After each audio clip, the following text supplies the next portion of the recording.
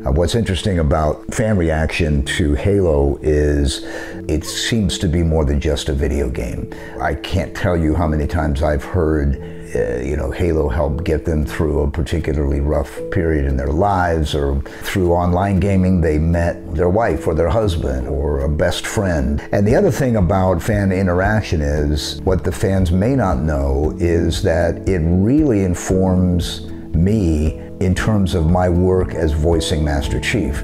When I see the things that that mean something to you as as a fan, I, that gets internalized. And the next time, the next go round, when I'm, it's time to record for Master Chief again, those thoughts are still there, and they do, I believe, uh, affect my performance in a, in a hopefully a positive way. So, you know, I can thank you for that actually.